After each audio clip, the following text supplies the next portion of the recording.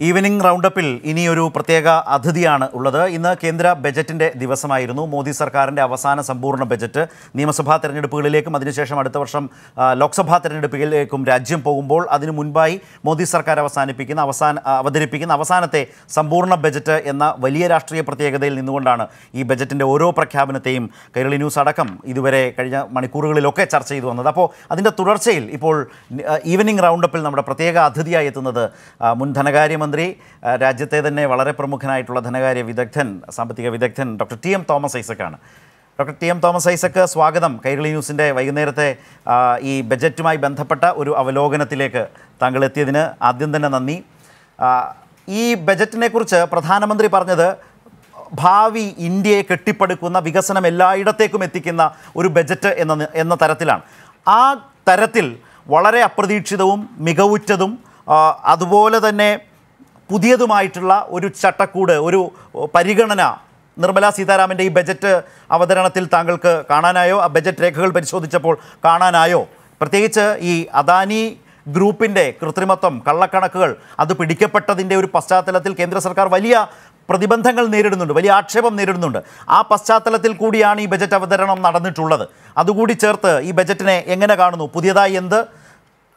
എങ്ങനെ ശ്രീ തോമസ് ഐസക്?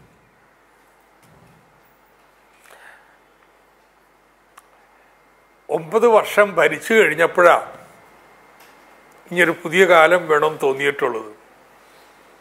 എന്താ നേരത്തെ തോന്നിയില്ല?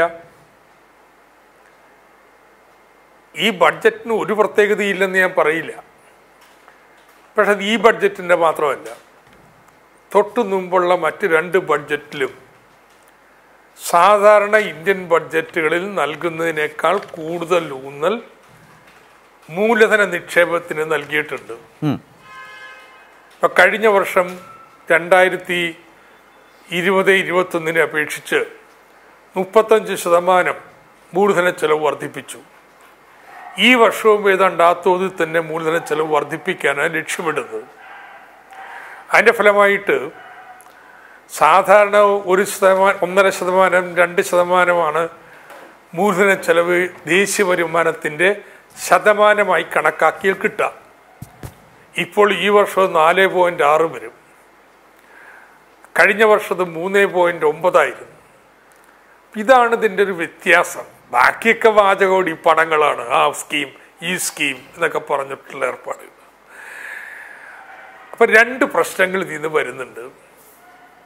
എങ്ങനെ ഇതിന് പണം കണ്ടെത്തി? ഒന്ന്. രണ്ട്. ഇനി പണം കണ്ടെത്തി ചെലവാക്കിയാലും പ്രതീക്ഷിക്കുന്ന ഫലമുണ്ടാവും. എന്താ പ്രതീക്ഷിക്കുന്ന ഫലം? പൊതുമേഖല നിക്ഷേപം വരുമ്പോൾ സ്വകാര്യ നിക്ഷേപകരും കൂടുതൽ നിക്ഷേപം നടത്തും. ഇന്ത്യയിലെ മൂലധന ചെലവ് മൊത്തത്തിൽ ഗണ്യമായിട്ട് ഉയരും. ഒരു ഘട്ടത്തിൽ നമ്മുടെ രാജ്യത്തെ മൂലധന ചെലവ് ദേശീയ വരുമാനത്തിന്റെ ഏതാണ്ട് നാൽപ്പത് ശതമാനം എത്തിയതാ. അത് പിന്നെ ഇടിഞ്ഞു. എൻ ഡി അധികാരത്തിൽ വരുമ്പോൾ മുപ്പത്തിരണ്ട് ശതമാനം ഉണ്ടായിരുന്നുള്ളൂ. ഒമ്പത് വർഷം ഭരിച്ചിട്ടും അത് മുപ്പത്തിരണ്ട് ശതമാനത്തിന് മുകളിലേക്ക് പോയില്ല. മുപ്പത്തൊന്ന് ശതമാനമായി കുറഞ്ഞു കോവിഡ് വന്നപ്പോൾ ഇരുപത്തേഴ് ശതമാനമായി. അപ്പോൾ വലിയൊരു ചോദ്യം വരുന്നുണ്ട്. പൊതുമൂലധന ചെലവ് ബഡ്ജറ്റിൽ കൂട്ടിയിട്ടും എന്തുകൊണ്ടാണ് സ്വകാര്യ നിക്ഷേപം വർദ്ധിക്കാത്തത്? ആറു മാസം മുമ്പ് ഇന്ത്യയിലെ വെൺകിട കോർപ്പറേറ്റുകളുടെ സമ്മേളനത്തിൽ ധനമന്ത്രി ഒരു നിസ്സഹായതയോടുകൂടി പറയുന്നത് കേട്ടു. നിങ്ങൾ ചോദിച്ചതൊക്കെ ഞാൻ ചെയ്തു. നികുതി കുറച്ചു. സബ്സിഡി പി എൽ ഐ കൊണ്ടുവന്നു. മറ്റ് നടപടികളൊക്കെ എടുത്തു. Ease of doing business. ഇതൊക്കെ ചെയ്തിട്ടും എന്തേ നിങ്ങൾ നിക്ഷേപിക്കാത്തത്? ഈ എൻ ഡി എ വന്നിട്ട് ഇന്ത്യയിലെ മൂലധന നിക്ഷേപം മൂലധന ചെലവ് മുപ്പത്തൊന്ന് ശതമാനത്തിന് അപ്പുറത്തേക്ക് പോണില്ല. അവിടെയാണ് ഈ അദാനി കടന്നു വരുന്നത്. പല കാരണങ്ങളുണ്ടല്ലോ അത്ര ലളിതമൊന്നുമല്ല. പക്ഷെ ഒരു പ്രധാനപ്പെട്ട കാരണം എല്ലാ മുതലാളിമാരെയും നിക്ഷേപരെയും ഒരുപോലെ കാണാൻ തയ്യാറല്ല. ശിങ്കിടികളാണെങ്കിൽ പ്രത്യേക പരിഗണനയാണ്. മിനിമം ഗവൺമെന്റ് എന്നാണ് പറയുന്നതെങ്കിലും ശിങ്കടികൾ വന്നു കഴിഞ്ഞാൽ മാക്സിമം ഗവൺമെന്റാണ് എന്തൊക്കെ ചെയ്തു കൊടുക്കാൻ പറ്റുമോ ചെയ്തു കൊടുക്കുക എന്നുള്ളതാണ്. അത് അവർക്ക് വേണ്ടിയിട്ട് പ്രത്യേക പൊതുമേഖലാ സ്ഥാപനങ്ങളിൽ നിന്ന് അവർക്ക് അവർക്ക് ഇളവുകൾ കൊടുക്കാം. വായ്പകൾ ഏർപ്പാട് ചെയ്ത് കൊടുക്കുക എത്രയാ കോടികൾ ലക്ഷങ്ങൾ കോടികൾ കൊടുക്കുന്നത് അത് ഇഷ്ടക്കാരാണെങ്കിൽ കേട്ടോ. എന്നാലേ ഇടപെടൽ വരത്തുള്ളൂ. ഈ പൊതു സ്ഥാപനങ്ങളുടെ സ്വത്ത് കൊടുക്കുന്ന മനസ്സിലാക്കാം. ഞാൻ പേരൊന്നും പറയുന്നില്ല. പക്ഷേ മുംബൈ എയർപോർട്ട് ഒരു സ്വകാര്യ മുതലാളിയാണ് നടത്തിക്കൊണ്ടിരുന്നത്. പോയിട്ടുള്ളവർക്ക് അറിയാം ഇന്ത്യയിലെ ഏറ്റവും മികച്ച എയർപോർട്ടുകളിലൊന്നാണ് കാണാനൊക്കെ നല്ല ഭംഗിയൊക്കെയാണ്. അത് അദാനി ഏറ്റെടുത്തു. എങ്ങനെ? അതിന്റെ പിന്നിലെ കഥകളൊക്കെ വളരെ പ്രസിദ്ധം കുപ്രസിദ്ധമാണ്. ഇൻകം ടാക്സ് റെയ്ഡ് അത് ഇതൊക്കെ കഴിഞ്ഞപ്പോൾ നമസ്തേ പറഞ്ഞുകൊണ്ട് ഇട്ടുകൊണ്ട് പോയി. ഇങ്ങനെയുള്ള പെരുമാറ്റം അതിന്റെ ഫലമായിട്ട് ചിലരിങ്ങനെ ശരവേഗതയിൽ വളരുകയാണ്. ഇത് നിക്ഷേപത്തെ പ്രോത്സാഹിപ്പിക്കുന്ന ഒന്നല്ല. യഥാർത്ഥ നിക്ഷേപത്തേക്കാൾ ഓഹരികളുടെ മറ്റും വില വർദ്ധിപ്പിക്കുന്നതല്ല ഇവരുടെ ഊന്നൽ പുതിയ പുത്തൻകൂറ്റ് മുതലാളിമാരുടെ. ഇനിയിപ്പോൾ അതിന്റെ ഫലം ഇവിടെ വന്നിരിക്കുന്നു. ഈ ബഡ്ജറ്റ് വന്നപ്പോൾ അദാനിയുടെ തകർച്ച കഴിഞ്ഞ ദിവസം അദാനിയുടെ ഇഷ്യൂ പൂർണമായിട്ടും വിറ്റുപോയി. സ്മൂത്ത് സ്മെയിലി സെയിലിംഗ് എന്നൊക്കെ പറഞ്ഞ്. പക്ഷെ ഇന്നെന്താ? ഇന്ന് മൂവായിരത്തൊരുന്നു മൂവായിരത്തി ഇരുന്നൂറ് രൂപക്ക് വിറ്റ അദാനി എന്റർപ്രൈസിന്റെ ഓഹരികൾ ഇന്ന് അവസാനം വിട്ടത് രണ്ടായിരത്തി അഞ്ഞൂറ് ആരാ ഇത്ര നഷ്ടം സഹിച്ചുകൊണ്ട് ഇന്നലെ ഓഹരി മേടിച്ചത്? ഇത് തന്നെയാണ് ഈ അദാനി എന്റർപ്രൈസിനെ കുറിച്ച് ഹിൻഡൻബർഗ് പറഞ്ഞത്. തങ്ങളുടെ ബിനാമി മറ്റുള്ള ആളുകൾ ഇവരൊക്കെ വഴി കൃത്രിമമായിട്ട് വില ഉയർത്തി നിർത്തുന്നു. അപ്പോൾ ഇത്തരത്തിലുള്ളൊരു സമീപനം കൈക്കൊള്ളുമ്പോൾ അത് പൊതു നിക്ഷേപത്തെ വർദ്ധിച്ചാലും സ്വകാര്യ നിക്ഷേപത്തെ ആകർഷിക്കില്ല. ഇതാണ് യാഥാർത്ഥ്യം. അതുകൊണ്ട് ഈ ബഡ്ജറ്റിന്റെ തന്ത്രത്തിന് മേൽ അദാനി കമ്പനികളുടെ പ്രതിസന്ധി വലിയൊരു കരിനിഴൽ വീഴ്ത്തിയിരിക്കുകയാണ്. എന്ന് വെച്ചാൽ താങ്കൾ പറഞ്ഞു വരുന്നത് ഈ ബജറ്റ് വല്ലാതെ ഈ ഒരു അദാനി ഇഷ്യൂവിന്റെ പുറത്തുള്ള ആ ഷെയ്ഡിൽ പെട്ട് നിൽക്കുന്ന ഒരു ബജറ്റ്. ഇപ്പോൾ ഈ പറഞ്ഞ ക്യാപിറ്റൽ എക്സ്പെൻ എക്സ്പെൻഡിച്ചർ കൂടുന്നുവെന്ന് പറഞ്ഞാലും പറയുന്നത് തന്നെ ഈ അദാനി കമ്പനികൾ ചെന്ന് പെട്ടിട്ടുള്ളൊരു പ്രശ്നം കൂടി പരിഹരിക്കുന്നതിനെ കൂടി കണ്ടുകൊണ്ട് ചെയ്യുന്ന ഒന്നാണ് എന്നാണോ? പൊതുവിൽ ഈ ബജറ്റ് അദാനിയെ പോലെയുള്ള ശിങ്കിടികൾക്കും ഇഷ്ടക്കാർക്കും വേണ്ടിയുള്ളതാണോ? അല്ല ഞാൻ പറയുന്നത് ഈ ബഡ്ജറ്റും ഇതിനുള്ള മുൻ ബഡ്ജറ്റും ലക്ഷ്യമിടുന്നത് സർക്കാർ നിക്ഷേപം കൂടിയാൽ സ്വകാര്യ നിക്ഷേപം കൂടും എന്നുള്ളതാണ്. അദാനിയുടെ ഒക്കെ നിക്ഷേപം കൂടി കാണും. പക്ഷെ ഇന്ത്യയിലെ സ്വകാര്യ മുതലാളിമാരുടെ നിക്ഷേപം കൂടിയിട്ടില്ല. കൂടിയിട്ടില്ല. അത് കൂടിയാലേ ബഡ്ജറ്റ് വിജയിക്കത്തുള്ളൂ. അതിന് കാരണം വളരെ പക്ഷപാതപരമായിട്ട് അദാനിയെ പോലുള്ളവർക്ക് വേണ്ടി സർക്കാർ പ്രവർത്തിക്കുന്നതുകൊണ്ടാണ്. ഇത് ബഡ്ജറ്റിന്റെ ഒരു വശം. രണ്ടാമത്തെ ഒരു വശമുണ്ട്. എങ്ങനെ ഈ പണം കണ്ടെത്തിയത്? ഈ ചോദ്യം ചോദിക്കാൻ കാരണം ബഡ്ജറ്റിന്റെ കണക്കുകൾ നോക്കിയിട്ടുണ്ടെങ്കിൽ ദേശീയ വരുമാനത്തിന്റെ ശതമാനമായി കണക്കാക്കിയാൽ നികുതി വരുമാനം കൂടിയിട്ടില്ല. ബോയിൻസി വർദ്ധിക്കുന്നില്ല. നേരത്തെ എട്ട് പോയിന്റ് എട്ട് ശതമാനം ഉണ്ട് ഇപ്പോഴും എട്ട് പോയിന്റ് എട്ട് ശതമാനം ഉണ്ട് റവന്യൂ റിസീറ്റ് ഇതുപോലെ തന്നെയാണ്. സർക്കാരിന്റെ റവന്യൂ വരുമാനം ദേശീയ വരുമാനത്തിന്റെ ശതമാനമായി കണക്കാക്കിയാൽ കഴിഞ്ഞ വർഷത്തിൽ നിന്ന് ഈ വർഷം വരുമ്പോൾ വർധനയില്ല. അപ്പോൾ എന്നാൽ നമ്മൾ വിചാരിക്കും കമ്മി കൂടുമെന്ന്. കമ്മി കൂടിയിട്ടില്ല. കമ്മി ആറ് പോയിന്റ് നാലുണ്ടായത് അഞ്ച് പോയിന്റ് ഒമ്പതായി കുറച്ചിരിക്കുകയാണ്. അപ്പോൾ വലിയൊരു ചോദ്യം വരുന്നുണ്ട്. വരുമാനം ദേശീയ വരുമാനത്തിന് ശതമാനമായി കൂടാതിരുന്നിട്ടും കമ്മി ദേശീയ വരുമാനത്തിന് ശതമാനമായി വർദ്ധിക്കാതിരുന്നിട്ടും മൂലധന ചെലവിന് പണം എവിടെ നിന്ന് കണ്ടെത്തി? പണം കണ്ടെത്തിയത് പാവങ്ങളെ പിഴിഞ്ഞിട്ടാണ്. അതാണ് ഇതിനെ അത്ഭുതപ്പെടുത്തുന്ന കാര്യം ബഡ്ജറ്റ് സംബന്ധിച്ച്? എല്ലാവരും പറയും ഇലക്ഷൻ വർഷമായതുകൊണ്ട് ഒരുപാട് സൗജന്യങ്ങളൊക്കെ പ്രഖ്യാപിക്കുമെന്ന്. വരുമാനം ദേശീയ വരുമാനത്തിന് ശതമാനമായി കൂടാതിരുന്നിട്ടും കമ്മി ദേശീയ വരുമാനത്തിന് ശതമാനമായി വർദ്ധിക്കാതിരുന്നിട്ടും മൂലധന ചെലവിന് പണം എവിടെ നിന്ന് കണ്ടെത്തി? പണം കണ്ടെത്തിയത് പാവങ്ങളെ പിഴിഞ്ഞിട്ടാണ്. അതാണ് ഇത് അത്ഭുതപ്പെടുത്തുന്ന കാര്യം ബഡ്ജറ്റ് സംബന്ധിച്ച്? എല്ലാവരും പറയും ഇലക്ഷൻ വർഷമായതുകൊണ്ട് ഒരുപാട് സൗജന്യങ്ങളൊക്കെ പ്രഖ്യാപിക്കുമെന്ന്. എന്നാൽ ഒരു പുതിയതായിട്ടുള്ള സൗജന്യം ജനങ്ങൾക്കില്ല. ഇന്ന് ഇളവരം കരയും പറയുന്നത് കേട്ട് ഹോൾ പ്രസംഗത്തിനുള്ളിൽ തൊഴിലാളി എന്നൊരു വാക്കില്ല. ഇപ്പൊ ജനങ്ങളോട് ഏറ്റവും നിഷേധാത്മക നിലപാട് സ്വീകരിച്ച് അവരുടെ ഉള്ള സബ്സിഡി ക്ഷേമ ചെലവുകൾ എല്ലാം വെട്ടിക്കുറച്ചിരിക്കുക. ഞാൻ ഒരു ഉദാഹരണം പറയാം. തൊഴിലുറപ്പാണല്ലോ പാവങ്ങളെ സംബന്ധിച്ചുള്ള ഏറ്റവും പ്രധാനപ്പെട്ടത്. തൊണ്ണൂറ്റെണ്ണായിരം കോടി രൂപയുടെ ആയിരുന്നു തൊഴിലുറപ്പിന്റെ ചെലവ് കഴിഞ്ഞ കഴിഞ്ഞതിന്റെ മുമ്പത്തെ വർഷം ഇരുപത്തൊന്ന് ഇരുപത്തിരണ്ടിൽ. കഴിഞ്ഞ വർഷം അത്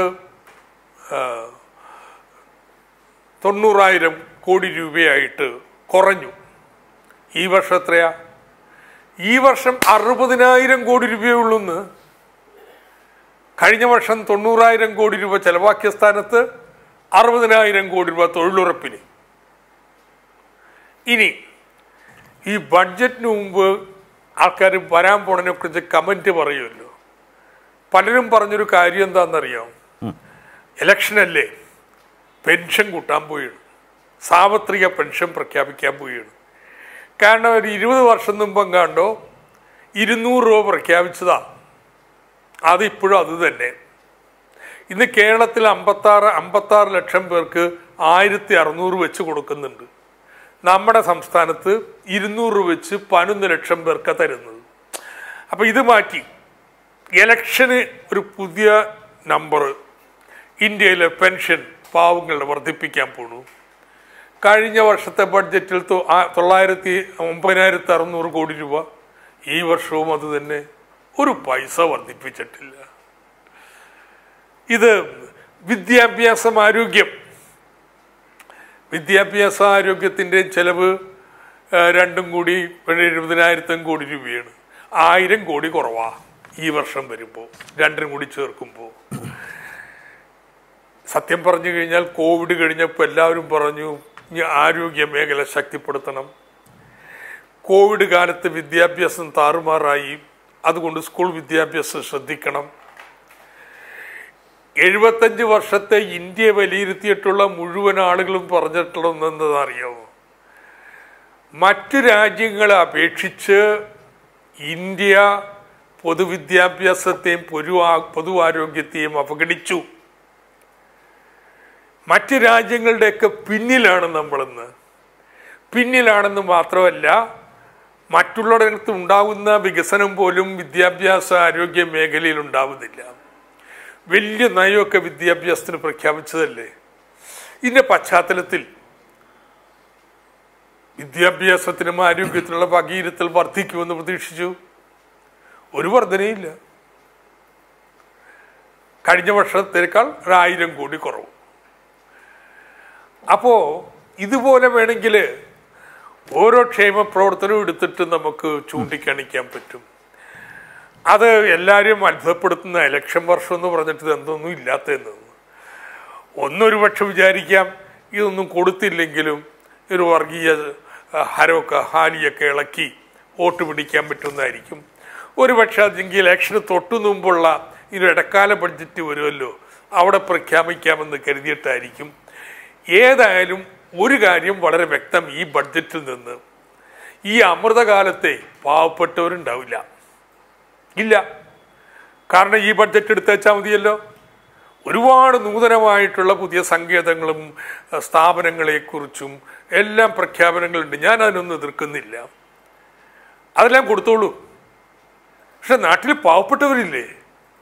അവരെ സംരക്ഷിക്കണ്ടേ? അവർക്കുള്ള വിഹിതം വെട്ടിക്കുറച്ചിരിക്കാം അവ- അവിടെയാണ് അവിടെയാണ് ശ്രീ തോമസ് ഐസക് പറയാൻ തന്നറിയോ? നമ്മളെ നിഷ്കളങ്കരായിട്ട്. ആ, അതായത് ശ്രീ ഐസക് ഇതൊരു അമൃതകാലമാണ്. ആ അമൃതകാലത്തിലേക്കുള്ള പോക്കിന് വേണ്ടുന്ന അടിത്തറ പാകുന്ന ബജറ്റ് എന്നാണ് പ്രധാനമന്ത്രിയായാലും ധനകാര്യമന്ത്രിയായാലും പറഞ്ഞുകൊണ്ടിരിക്കുന്നത്. പക്ഷേ ഈ ക്ഷേമ കാര്യങ്ങളിലൊക്കെ വലിയ ഇടിവ് വരുത്തിയിട്ടുണ്ട്. താങ്കൾ പറഞ്ഞല്ലേ ഒരുപക്ഷേ ബജറ്റ് ലോക്സഭാ തെരഞ്ഞെടുപ്പിന് മുമ്പുള്ള ഇടക്കാല ബജറ്റിലൂടെ തെരഞ്ഞെടുപ്പ് പ്രഖ്യാപനം ഒരു പ്രകടന പത്രിക പോലെ തന്നെ കുറേ കൂടി പോപ്പുലിസ്റ്റായിട്ട് കാര്യങ്ങളെ അവതരിപ്പിക്കാം. അതുകൊണ്ട് ഇപ്പോൾ ഈ നിലയിൽ തന്നെ മുന്നോട്ട് പോകാമെന്ന് സർക്കാർ വളരെ കൗശലത്തോടെ തീരുമാനിച്ചിട്ടുണ്ടാകാം. പക്ഷേ അതേസമയം ഈ ദാരിദ്ര്യം എന്നുള്ള ഗൗരവമായ പ്രശ്നം ദാരിദ്ര്യ നിർമ്മാർജനം ദരിദ്രരുടെ എണ്ണം കൂടുന്നതുമായി ബന്ധപ്പെട്ട സാമ്പത്തിക സർവേയിലും ഓക്സ്ഫാമിന്റെ റിപ്പോർട്ടും ഒക്കെ നമ്മുടെ മുമ്പിലുണ്ട്. പക്ഷേ ഈ ബജറ്റിൽ പറയുന്നത് ഇപ്പോൾ പി എം ഗരീബ് കല്യാൺ അന്ന യോജന ഒരു വർഷം കൂടി തുടരും. എല്ലാ അന്ത്യോദയ ഗുണഭോക്താക്കൾക്കും അതിന്റെ പ്രയോജനം ലഭിക്കും. ഇതിൽ ഇതിന്റെ രണ്ട് ലക്ഷം കോടി രൂപയുടെ ചെലവ് കേന്ദ്ര സർക്കാർ വഹിക്കും. എൺപത്തിയൊന്ന് കോടി ജനങ്ങൾക്ക് പ്രതിമാസം അഞ്ച് കിലോ ഭക്ഷ്യധാന്യം സൗജന്യമായി ലഭിക്കും. ഈ പ്രഖ്യാപനങ്ങൾ ഏതെങ്കിലും തരത്തിൽ രാജ്യത്ത് നിലനിൽക്കുന്ന അതിദാരിദ്ര്യത്തിന്റെ സാഹചര്യത്തെ മറികടക്കാൻ കഴിയുന്ന നടപടികളാണോ? നിശ്ചയമായിട്ടും. അതൊരു സഹായം നേരത്തെ ഉണ്ടായിരുന്നതാ. അതെ. നീട്ടുകയാണ് നിർത്തലാക്കാൻ പോണെന്ന് പ്രഖ്യാപിച്ചിട്ട് ഇപ്പോ അതിന്റെ പ്രതികരണം ജനങ്ങളിൽ കണ്ടപ്പോൾ വേണ്ടെന്ന് വെച്ചതായിരിക്കും. പക്ഷേ ദാരിദ്ര്യ നിർമ്മാർജനത്തിൽ പ്രധാനപ്പെട്ട കാര്യം എന്താ? പാവങ്ങൾക്ക് തൊഴിൽ കൊടുക്കുക എന്നുള്ളതാണ്. ബഡ്ജറ്റ് പ്രസംഗത്തിലും എക്കണോമിക് റിവ്യൂവിലും നഗരമേഖലയിൽ തൊഴിലില്ലായ്മ കുറഞ്ഞു. സർക്കാരിന്റെ ഔദ്യോഗിക കണക്കാണ് കേട്ടോ സി എം ഐ എന്ന് പറയുന്ന വേറൊരു സ്ഥാപനം അവരും സർവേ നടത്തേണ്ടത് ഉപകാരം ഉണ്ടായിട്ടില്ല. പക്ഷെ നഗരമേഖലയിലുള്ളൂ. ഗ്രാമീണ മേഖലയിൽ തൊഴിലില്ലായ്മ വർദ്ധിച്ചിരിക്കുകയാണ്. തൊഴിലവസരങ്ങൾ കുറഞ്ഞിരിക്കുകയാണ്. കൂലി വർദ്ധിച്ചിട്ടില്ല. ഇതിന്റെ ഫലമായിട്ട് ആളുകൾ കഴിക്കുന്ന ഭക്ഷണം കൂടിയോ കുറഞ്ഞോ എന്നൊന്നും പറയാൻ പറ്റത്തില്ല. കാരണം എന്താണെന്ന് അറിയാമോ കൺസംഷൻ സർവേ തന്നെ വേണ്ടെന്ന് വെച്ചിരിക്കുക. രണ്ടായിരത്തി പതിനഞ്ചിന് ശേഷം നടത്തിയിട്ടില്ല. രണ്ടായിരത്തി പതിനേഴ് പതിനെട്ടിൽ നടത്തി. നടത്തിയതിന്റെ റിസൾട്ട് വന്നപ്പോൾ ഇന്ത്യ ചരിത്രത്തിൽ ആദ്യമായിട്ട് ആളുകളുടെ ഉപഭോഗം ഇടിഞ്ഞു. അതോടുകൂടി സർവേ വേണ്ടെന്ന് വെച്ചു. പിന്നെ നമുക്ക് കണക്കില്ല. ദാരിദ്ര്യം എന്താ? ഇന്ത്യ സർക്കാരിന്റെ കണക്കാണ് ഞാൻ പറയുന്നത്. എഴുപതുകളുടെ അവസാനം മുതൽ ഇന്ത്യയിലെ ദാരിദ്ര്യം കുറഞ്ഞു കുറഞ്ഞു വന്ന് ഒരു ഇരുപത്തിരണ്ട് ശതമാനത്തിലേക്ക് എത്തി. ദേ ഈ എൻ ഡി എ ഭരണകാലത്ത് സർക്കാരിന്റെ കണക്കുകൾ കാണിക്കുന്നത് ദാരിദ്ര്യരേഖയ്ക്ക് കീഴിലുള്ളവരുടെ എണ്ണം കൂടി. ഈ കോവിഡ് കാലത്ത് മാത്രമല്ല കേട്ടോ അതിക്ക് മുന്നിലും. ഇതിനെയൊക്കെ അഡ്രസ് ചെയ്യാനായിട്ട് ഈ ബഡ്ജറ്റിലില്ല. യെസ് അതുകൊണ്ടാണ് ഞാൻ പറഞ്ഞത്. ഈ വരാൻ പോണ അമൃതകാലത്ത് പാവങ്ങൾക്ക് ഒരു ഗതിയും പിടിക്കാൻ പോണില്ല. അപ്പോൾ പിന്നെ അമൃതകാലം അല്ലാതെ തിളങ്ങുന്ന ഒരു ഇന്ത്യയെ കുറിച്ച് ഉണ്ടാക്കാനാ പോകുന്നത്. അമൃതകാല അമൃതകാൽ എൻ- കാലം എന്നാണ്? ഹരികാലം എന്ന് പറയാലോ എന്താ പറയണേ?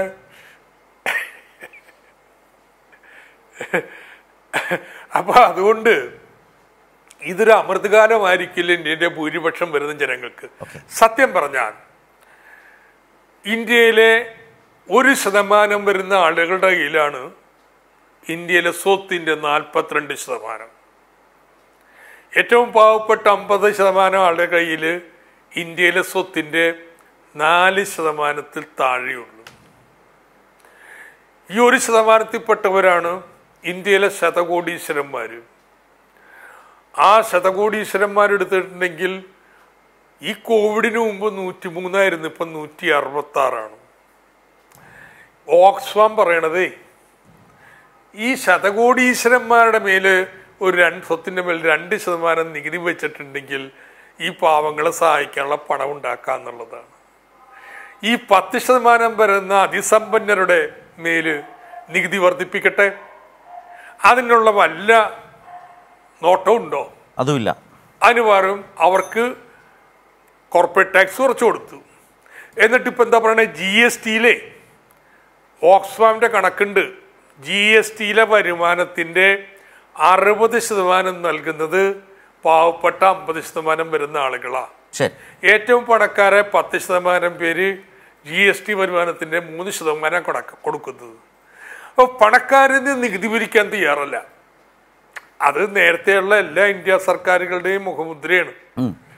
അപ്പൊ അവരുടെ ചിന്ത അങ്ങനെ പിരിച്ചാൽ അവർ പിണങ്ങും നിക്ഷേപം നടത്തില്ല എന്നൊക്കെയാണ്. അവരെ നിക്ഷേപിക്കാനും പ്രീതിപ്പെടുത്താൻ വേണ്ടി അവർക്ക് കൂടുതൽ കൂടുതൽ ഇളവ് നൽകാം. അങ്ങനെ ഇളവ് നൽകുമ്പോൾ പാവങ്ങൾക്ക് കൊടുക്കാനുള്ള പണമില്ലാതെ വരുന്നു. അപ്പോൾ അത് ഈ അമൃതകാലമൊന്നും അതും ഇതൊന്നും ഒക്കെ പ്രഖ്യാപനങ്ങൾ നടത്തി കണ്ണിൽ മണ്ണിടാനുള്ള പരിപാടിയാണ്. ശ്രീ തോമസ് ഐസക് നമുക്ക് നമ്മുടെ സമയം ഈ സംസാരത്തിന്റെ ഒരു സമയം അവസാനിക്കുന്നതുകൊണ്ട് തന്നെ വളരെ ദീർഘമായി പലതും പറയേണ്ടതായിട്ടുണ്ട്. തൊഴിലില്ലായ്മയുടെ ഒരുതായ പ്രശ്നം വിലക്കയറ്റത്തിന്റെ പ്രശ്നം അതിനൊന്നും അഭിമുഖീകരിക്കുന്നില്ല ബജറ്റ് എന്നുള്ള കാര്യങ്ങളൊക്കെ താങ്കൾ ഈ പറഞ്ഞതിലുണ്ട്. കേരളത്തെക്കുറിച്ച് കൂടി കേരളത്തിന് പതിവ് പോലെ തന്നെ അവഗണന കേരളത്തിന്റെ പൊതുവായ ആവശ്യങ്ങൾ വികസനവുമായി ബന്ധപ്പെട്ട പ്രശ്നങ്ങൾ ഇതെല്ലാം ഇതിനോടെല്ലാം മുഖം തിരിഞ്ഞു നിൽക്കുന്ന ബജറ്റ് എന്ന് തന്നെയാണോ താങ്കൾക്കും മനസ്സിലായത്?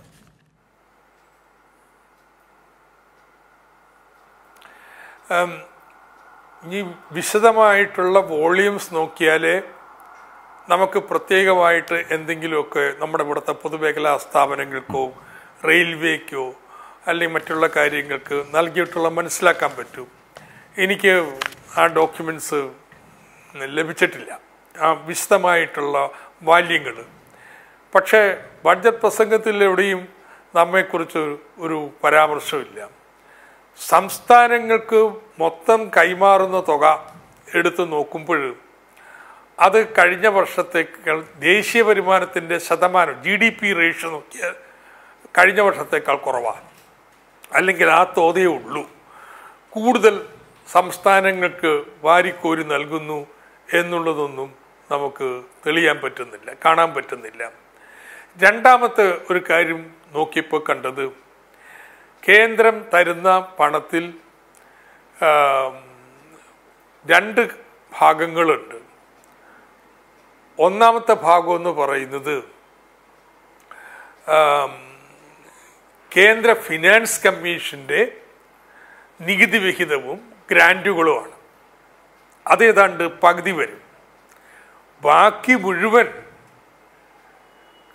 കേന്ദ്ര സർക്കാർ അവരുടെ ഇഷ്ടം പോലെ നൽകുന്നതാണ്. അതിന്റെ ഒരു മുപ്പത് ശതമാനം നാൽപ്പത് ഒരു അതിന്റെ ഒരു പകുതിയോളം വരുന്ന തുകയെന്ന് പറയുന്നത് കേന്ദ്രാവിഷ്കൃത പദ്ധതികളാണ്.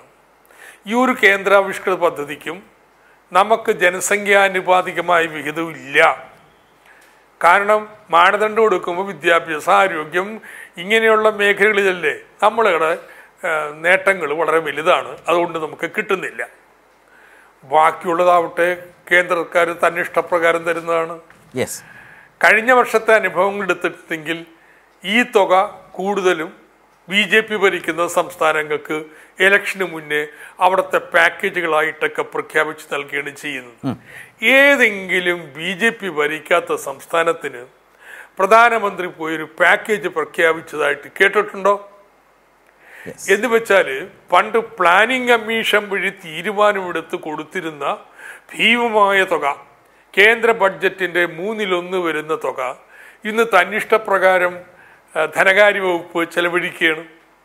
നേരത്തെ പ്ലാനിംഗ് കമ്മീഷൻ വഴി കിട്ടിക്കൊണ്ടിരുന്നപ്പോൾ അതിന് ഗാഡ്ഗിൽ ഫോർമുല ഉണ്ടായിരുന്നു. അതിന്റെ അടിസ്ഥാനത്തിൽ നമുക്കൊരു അർഹതമായ വിധം നമുക്ക് കിട്ടുമായിരുന്നു. ഇപ്പം അങ്ങനെയില്ല.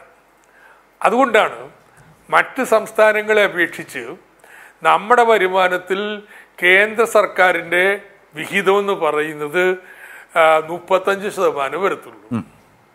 മറ്റ് സംസ്ഥാനങ്ങൾ എടുത്താൽ നാൽപ്പത്തഞ്ച് ശതമാനവും ആണ് നമുക്ക് മറ്റ് സംസ്ഥാനങ്ങളെക്കാൾ കുറവ് സഹായമേ കേന്ദ്രത്തിൽ നിന്ന് വളരെ കുറവ് സഹായമേ കേന്ദ്രത്തിൽ നിന്ന് കിട്ടുന്നുള്ളൂ. കേരളം നികുതി ഭരിക്കുന്നില്ല കാര്യങ്ങൾ ചെയ്യുന്നില്ല എന്നൊക്കെ പറയുമ്പോഴും ആ കാര്യം മറന്നു പോകുന്ന കാര്യമുണ്ട്. നമ്മൾ പിരിക്കണ നികുതിയും നമ്മളുണ്ടാക്കുന്ന വരുമാനമാണ് മറ്റേത് സംസ്ഥാനത്തേക്കാൾ കൂടുതലായിട്ട് നമ്മൾ ആശ്രയിക്കുന്നത്. ഏതായാലും എങ്ങനെയാണ് കേരളം ഈ മോദി ഭരണകാലത്ത് അവഗണിക്കപ്പെടുന്നത് എന്നതുമായി ബന്ധപ്പെട്ട വളരെ പ്രധാനപ്പെട്ട ഒരു കാര്യമാണ് വളരെ ലളിതമായി ഇപ്പോൾ doctor T M Thomas Isaac സൂചിപ്പിച്ചത്. ഈ ബജറ്റുമായി ബന്ധപ്പെട്ട ഒരു പൊതു വിലയിരുത്തലിനാണ് അദ്ദേഹം അല്പസമയം ഞങ്ങൾ നമ്മൾക്കൊപ്പം ചെലവഴിച്ചത്. വളരെയധികം ശ്രീ തോമസ് ഐസക്ക് ഈ അഭിപ്രായങ്ങൾ പങ്കുവച്ചതിന്. താങ്ക്